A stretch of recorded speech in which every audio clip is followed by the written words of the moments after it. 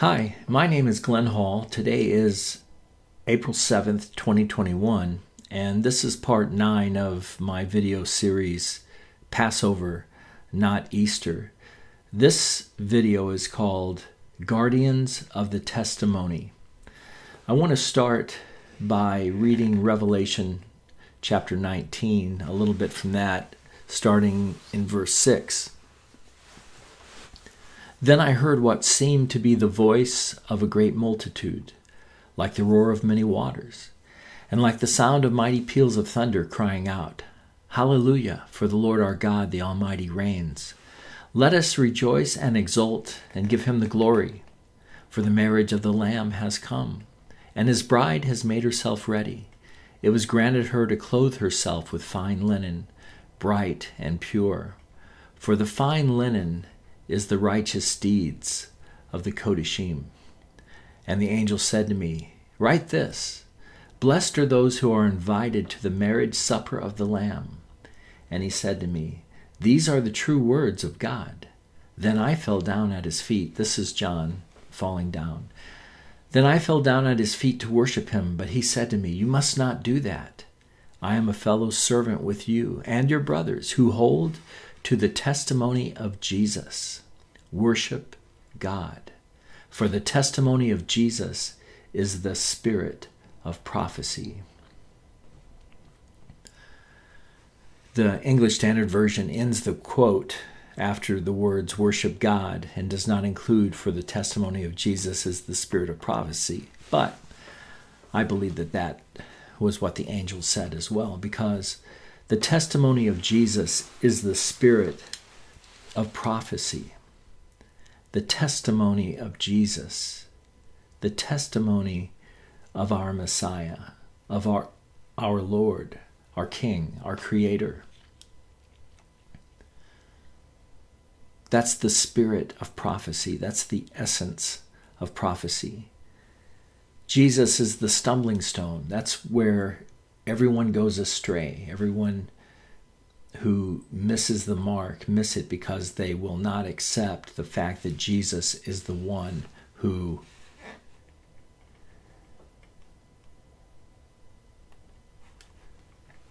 means everything, that did everything for us. And it's only through him and because of him that we ever make it into the kingdom of God. The Kodashim, the first fruits of God, the firstborn of God, and then the bride of Christ, they are the guardians of the testimony. I want to read now from Revelation 14 before I move into um, discussing this in more detail, because Revelation 14 is very important to read along with the previous video, video that I did concerning the hour that we live in now and watching with Christ during this hour. This is the hour that we need to be awake and aware. So Revelation 14:1 Then I looked and behold on Mount Zion stood the lamb and with him 144,000 who had his name and his father's name written on their foreheads. And I heard a voice from heaven like the roar of many waters and like the sound of loud thunder. The voice I heard was like the sound of harpists playing on their harps. And they were singing a new song before the throne, and before the four living creatures, and before the elders. No one could learn that song except the 144,000 who had been redeemed from the earth. It is these who have not defiled themselves with women, for they are virgins. It is these who follow the Lamb wherever he goes. These have been redeemed from mankind as first fruits for God and the Lamb. And in their mouth no lie was found, for they are blameless. These 144,000 are, I believe, the man child that's discussed in Revelation chapter 12. And they are the first fruits unto God. They are the ones who will, I believe, prepare the bride so that the bride herself is ready at the appropriate time.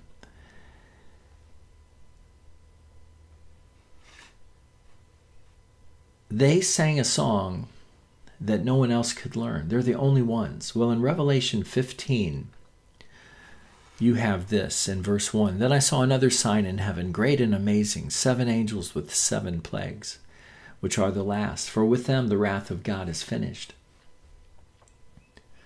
And I saw what appeared to be a sea of glass mingled with fire, and also those who had overcome the beast and its image and the number of its name, standing beside the sea of glass with harps of God in their hands. And they sang the song of Moses, the servant of God, and the song of the Lamb. So this song is a song that is the song of Moses and the song of the Lamb. It's the song of the law and the grace. It's the song of justice and it's the song of mercy. The servants of God, the 144,000, have to have the law written on their hearts, but they also have to have the mercy of God within their hearts. So, verse 3 again, and they sing the song of Moses, the servant of God, and the song of the Lamb, saying, Great and amazing are your deeds, O Lord God the Almighty. Just and true are your ways, O King of the nations. Who will not fear, O Lord, and glorify your name? For you alone are holy. You alone are holy. The testimony of Jesus is the spirit of prophecy. Jesus, you alone are holy. All nations will come and worship you, for your righteous acts have been revealed. So we are on the verge of seeing the righteous acts of our God revealed. Now I want to turn back quickly to chapter 14. Right after the first fruits of God are introduced in verses 1 through 5, then verse 6 says, Then I saw another angel flying directly overhead with an eternal gospel to proclaim to those who dwell on earth, to every nation and tribe and language and people. And he said with a loud voice, Fear God and give him glory, because the hour of his judgment has come. And worship him who made heaven and earth, the sea, and the springs of water. So notice this mentions the hour again. And but what happens in this hour? Verse 6 An angel flies overhead with an eternal gospel, the gospel of Jesus Christ. The good news of Jesus Christ is going to go forth to every nation and tribe and language and people. Then, verse 8 Another angel, a second, followed, saying, Fallen, fallen is Babylon the Great, she who made all nations drink the wine of the passion of her sexual immorality. So you have these things happening at the same time. You have the fall of Babylon, but you now have the everlasting gospel going out in power with great glory. And then verse 9 and 10. And another angel, a third, followed him, saying with a loud voice, If anyone worships the beast and its image, and receives a mark on his forehead or on his hand, he also will drink the wine of God's wrath, poured full strength into the cup of his anger. And he will be tormented with fire and sulfur in the presence of the holy angels and in the presence of the Lamb. This is the application of God's law to them. And the smoke of their torment goes up forever and ever, and they have no rest day or night, these worshippers of the beast and its image, and whoever receives the mark of its name. Their torment lasts as long as they refuse to repent.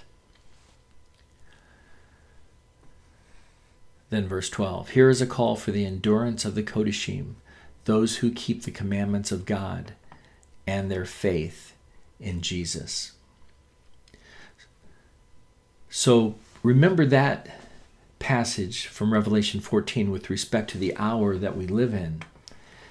And now, I want to begin to explain what I mean by being guardians of the testimony. Moses the man of God, the servant of God. Moses was the grandson of Levi, one of the twelve sons of Jacob, whom God renamed Israel. Moses wrote the books of Genesis, Exodus, Leviticus, Numbers, and Deuteronomy. Moses led the people of Israel out of Egypt. God appointed his brother Aaron as the first high priest of Israel when he established the nation of Israel after freeing them from Pharaoh. From that time, Aaron's sons served as the priests of Israel. But Aaron's sons were only part of only one of the eight clans of the Levite tribe. In Numbers 3, verses 14 through 20, it says, And the Lord spoke to Moses in the wilderness of Sinai, saying, List the sons of Levi by fathers' houses and by clans. Every male from a month old and upward you shall list. So Moses listed them according to the word of the Lord, as he was commanded. And these were the sons of Levi by their names Gershon and Kohath and Merari. Those are the three sons of Levi. And these are the names of the sons of Gershon by their clans Libni and Shimei, and the sons of Kohath by their clans Amram, Izhar, Hebron, and Uzziel. And the sons of Merari by their clans Mahli and Mushi. These are the clans of the Levites by their fathers' houses. I may have said that Levi was the grandfather um, of Moses, but it's clear from this that he would have been the great grandfather of Moses. Aaron's descendants formed only a small part. My recollection is that Amram was Moses' father, who was the son of Kohath. So you have Levi, Kohath, Amram, and then um, Moses and Aaron.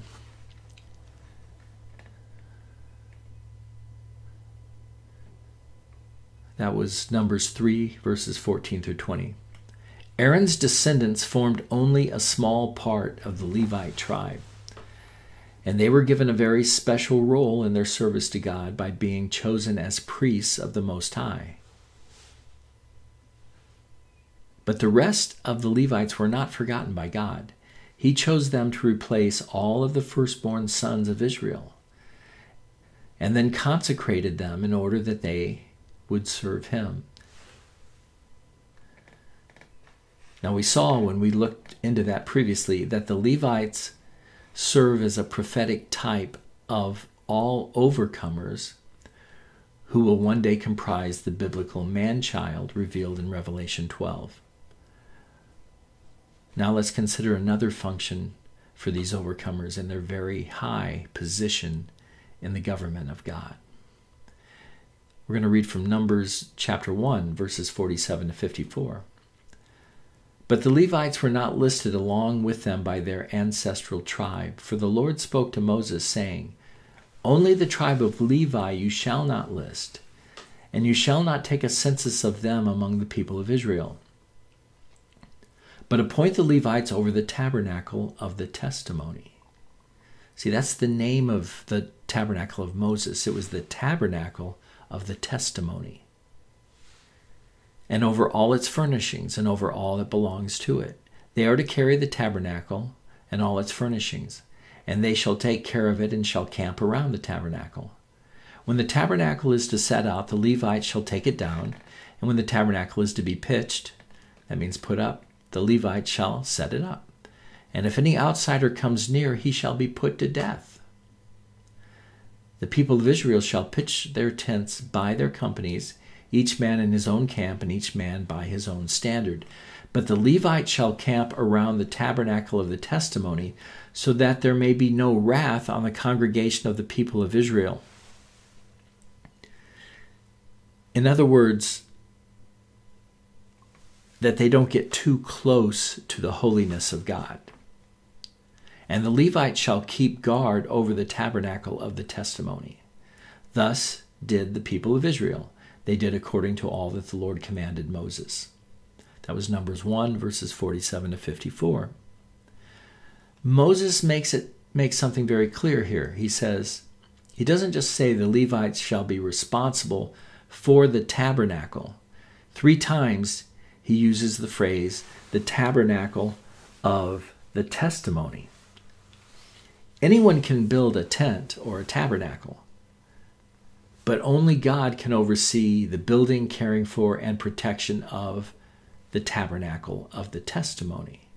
So we need to find out what is the testimony. Strong's Concordance says that the word testimony is translated from the Hebrew word aduth and is translated as either testimony or witness in the King James Version. Remember, a witness gives testimony. If you have a witness in a trial, the lawyer always asks him questions, and that witness then gives testimony. And in order for that testimony to be received, it has to be an eyewitness. It can't be hearsay. It's not based upon what somebody else said, it's based upon what they themselves saw. Strong's also says that the word comes from the Hebrew word aid and means a witness or abstractly testimony. So you would have um, those two ideas again. The King James Version only translates that word as witness. The context within the verses where this word is used shows that it typically means to be a witness for the truth of some particular matter.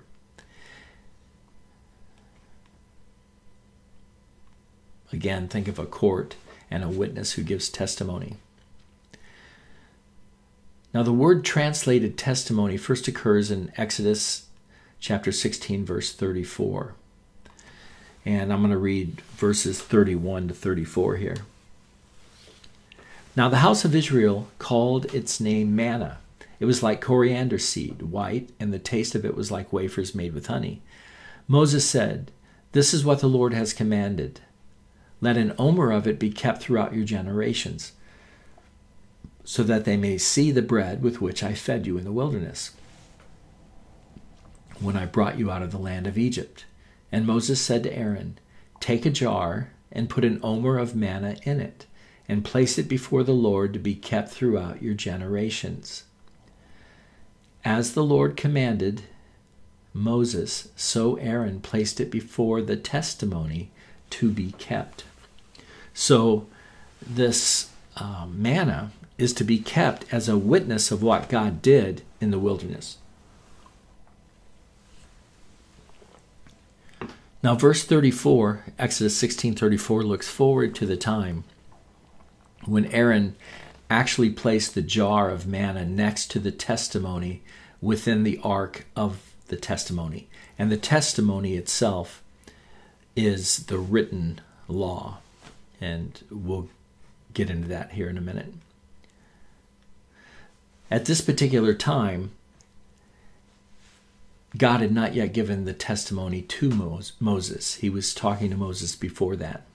Now, the following passage first reveals God's commands concerning this ark of the testimony. This is Exodus 25, verses 10 through 22. They shall make an ark of acacia wood. Two cubits and a half shall be its length, a cubit and a half its breadth, and a cubit and a half its height. Um, a cubit was a foot and a half, uh, sometimes one foot and nine inches.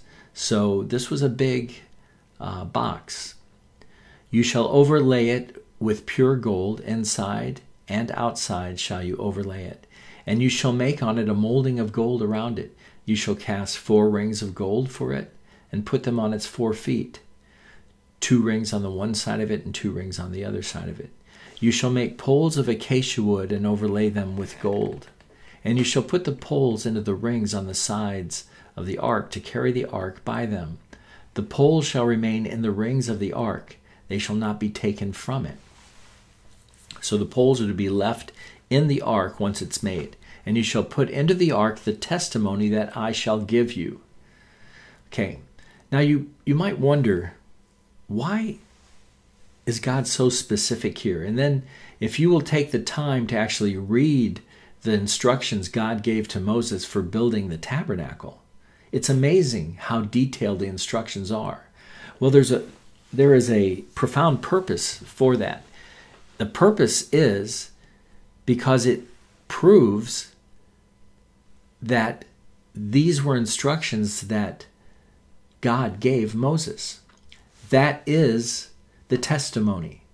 That's why this is called a testimony, because these are the literal words of God spoken to man. What other religion is there that has the literal words of God still in one place that we can go and find? See, that's the amazing thing about the Bible, about the scripture. It is the Word of God. And that is the testimony. So now moving on to verse 17 of Exodus 25. You shall make a mercy seat of pure gold. Two cubits and a half shall be its length, and a cubit and a half its breadth. And you shall make two cherubim of gold. Of hammered work shall you make them on the two ends of the mercy seat. Make one cherub on the one end, and one cherub on the other end. Of one piece with the mercy seat shall you make the cherubim on its two ends. The cherubim, now these would be, and you see pictures of cherubim in the book of Ezekiel. So these are um, spiritual beings with wings. The cherubim shall spread out their wings above, overshadowing the mercy seat with their wings, their faces one to another. Toward the mercy seat shall the faces of the cherubim be. And you shall put the mercy seat on the top of the ark, and in the ark you shall put the testimony that I shall give you. There I will meet with you. And from above the mercy seat, from between the two cherubim that are on the ark of the testimony, I will speak with you about all that I will give you in commandment for the people of Israel. Again, that was Exodus 25, verses 10 to 22.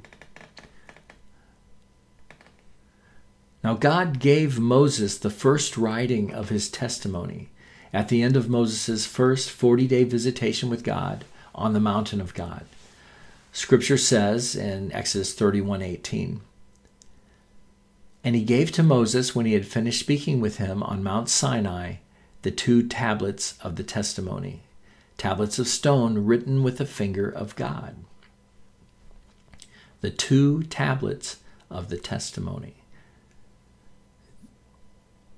On them were the Ten Commandments.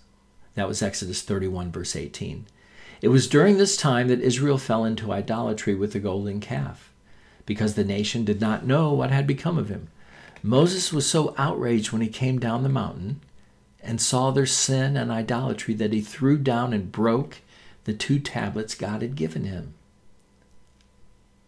You would have thought that he would have been fearful to break what God had just given him, wouldn't you? But Moses was outraged.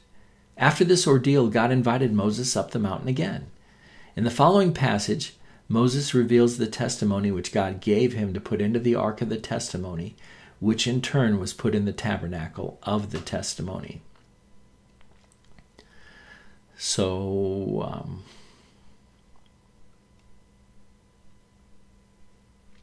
This is a long passage I'm going to read. This is Exodus chapter 34, verses 1 to 29, but it's so powerful and important. Important. I'm going to go ahead and read all of it. The Lord said to Moses, Cut for yourself two tablets of stone like the first, and I will write on the tablets the words that were on the first tablets, which you broke. It's kind of funny, which you broke. Be ready by the morning and come up in the, in the morning to Mount Sinai and present yourself there to me on the top of the mountain. No one shall come up with you, and let no one be seen throughout all the mountain. Let no flocks or herds graze opposite that mountain. You were dealing with God here, okay? So Moses cut two tablets of stone like the first, and he rose early in the morning and went up on Mount Sinai as the Lord had commanded him. And he took in his hand two tablets of stone. The Lord descended in the cloud and stood with him there and proclaimed the name of the Lord. Then the Lord passed before him and proclaimed, The Lord, the Lord, Yahuwah, Yahuwah, a God, an Elohim, merciful and gracious, slow to anger and abounding in steadfast love and faithfulness, keeping steadfast love for thousands, forgiving iniquity and transgression and sin, but who will by no means clear the guilty, visiting the iniquity of the fathers on the children and the children's children to the third and the fourth generation. We see that children pay the penalty for their father's sin because they get into sinful patterns of behavior themselves. And Moses quickly bowed his head toward the earth and worshipped. And he said, If now I have found favor in your sight,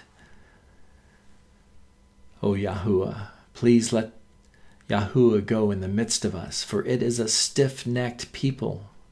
Stiff necked like the donkey. That's why the donkey's neck had to be broken if, if you did not sacrifice a lamb for the firstborn of the donkey and pardon our iniquity and our sin, and take us for your inheritance. And God said, Behold, I am making a covenant. Before all your people, I will do marvels, such as have not been created in all the earth or in any nation. And all the people among whom you are shall see the work of the Lord, for it is an awesome thing that I will do with you. Observe what I command you this day Behold, I will drive out before you the Amorites, the Canaanites, the Hittites, the Perizzites, the Hivites, and the Jebusites. Take care, lest you make a covenant with the inhabitants of the land to which you go, lest it become a snare in your midst. You shall tear down their altars and break their pillars and cut down their asherim. Their asherim, their Asherah. Another word, I believe, for Ishtar, after which Easter is named. For you shall worship no other God, for the Lord, whose name is jealous, is a jealous God, lest you make a covenant with the inhabitants of the land. And when they whore after their gods and sacrifice to their gods, and you are invited, you eat of his sacrifice, and you take of their daughters for your sons, and their daughters whore after their gods, and make your sons whore after their gods. So God is telling Moses, You are to be a separate people unto me, a kingdom of priests. Verse 17 in Exodus 34 You shall make for yourself. You shall not make for yourself any gods of cast metal. 18. You shall keep the feast of unleavened bread. Seven days you shall eat unleavened bread, as I commanded you, at the time appointed in the month of Abib, first month of the new year for Israel. For in the month of Abib you came out from Egypt. All that open the womb are mine, all your male livestock, the firstborn of cow and sheep, the firstborn of donkey you shall redeem with a lamb, or if you will not redeem it, you shall break its neck. All the firstborn of your sons you shall redeem, and none shall appear before me empty handed. Six days you shall work, but on the seventh day you shall rest. And that is a principle we ought still to live by. And it doesn't necessarily mean you have to take one particular day a week, but you need to you need to live in rest.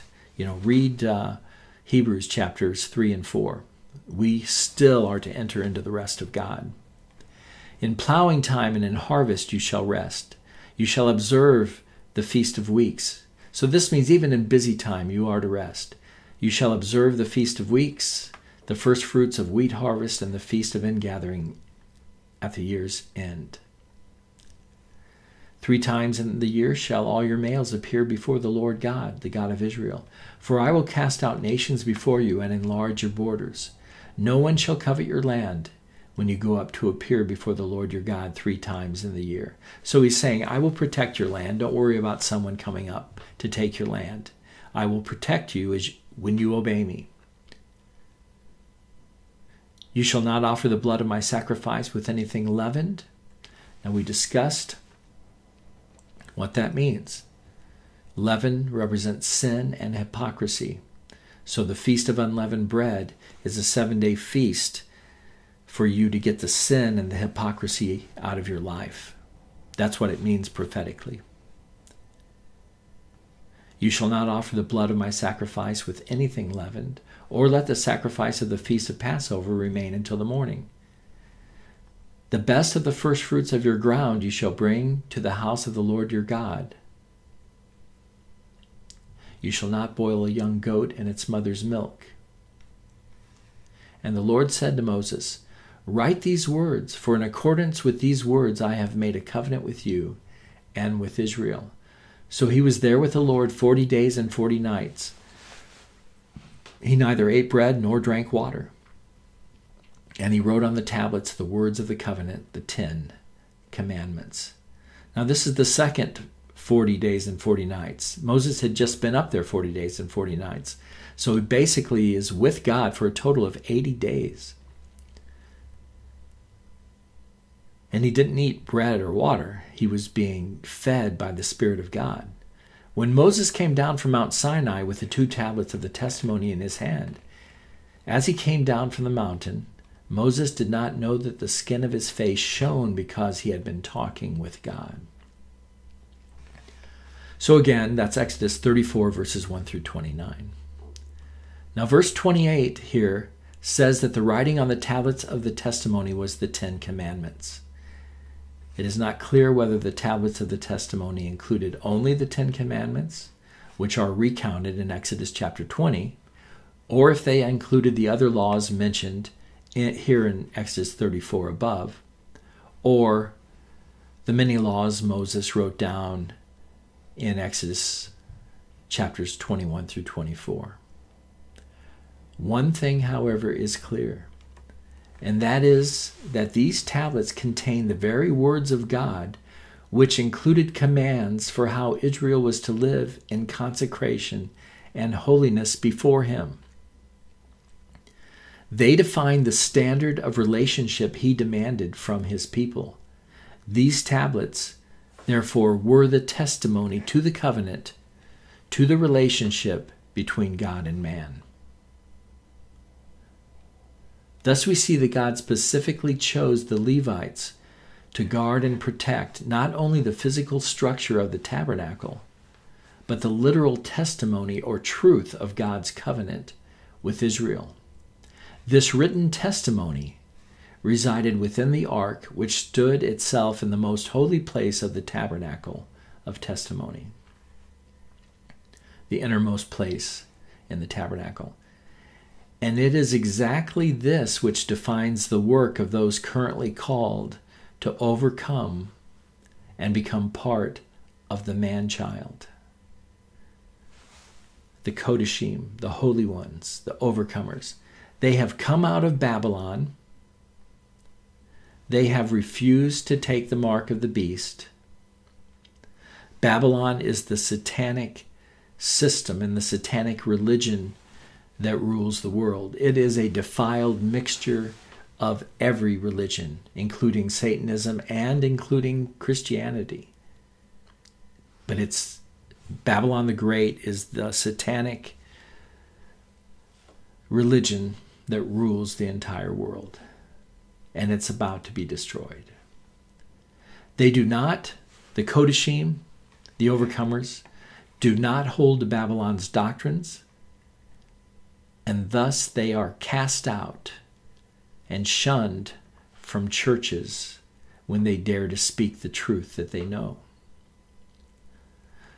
The very words of God have been and still are being written upon their hands, upon their head, their minds, and upon their hearts.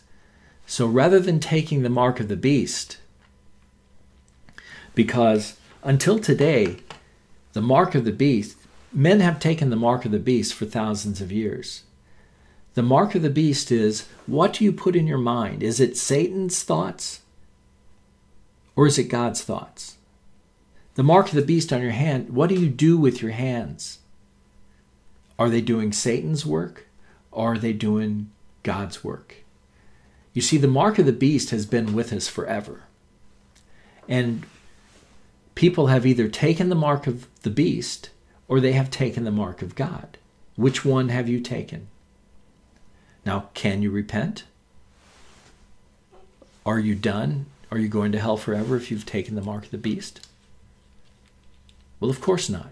There could be no salvation because everyone took the mark of the beast before they believed in Jesus Christ.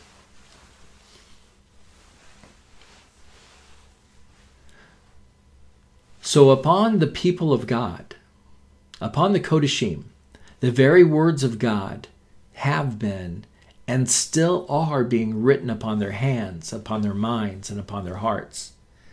And like Phinehas, son of Eleazar, son of Aaron, great grandson of Levi, who slew the fornicating idolaters of Israel, you should read about that. The Kodashim will not rest until all carnal flesh has been destroyed by God's word. See, they destroy the carnal flesh by the word of God. These are the ones who rule with a rod of iron. The rod of iron is the word of God. And finally, I want to remind you of the scripture from Isaiah 8 concerning the testimony because it's critical for us to understand this.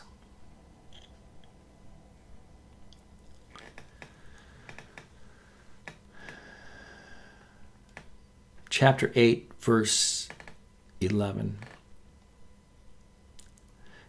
11 to 22. For the Lord spoke thus to me with his strong hand upon me, and warned me not to walk in the way of this people, saying, Do not call conspiracy all that this people calls conspiracy, and do not fear what they fear, nor be in dread. But the Lord of hosts, him you shall honor as holy. Let him be your fear, and let him be your dread. And he will become a sanctuary and a stone of offense, and a rock of stumbling to both houses of Israel. See, this is the stumbling stone. This is talking about Jesus, the Lord of hosts. Jesus. Jesus will become a sanctuary and a stone of offense and a rock of stumbling to both houses of Israel. He is the stumbling stone.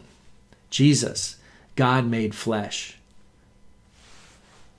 A trap and a snare to the inhabitants of Jerusalem, and many shall stumble on it. They shall fall and be broken, they shall be snared and taken.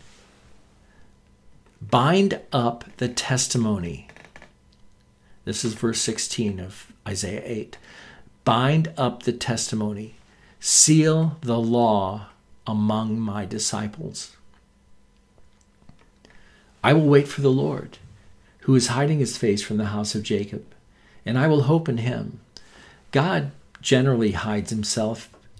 You know, he doesn't just come out and show you a shining figure and say, I'm God. Believe in me. He, you know, it needs to become something to us. It needs to mean something to us. It is the pearl of great price. We sell all in order to gain that. I will wait for the Lord. I will wait for Yahuwah, who is hiding his face from the house of Jacob, and I will hope in him. Behold, I and the children whom Yahuwah has given me are signs and portents in Israel from Yahuwah of hosts, who dwells on Mount Zion. Jesus